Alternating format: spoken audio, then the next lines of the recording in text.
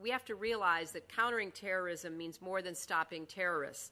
It means stopping people from becoming terrorists in the first place.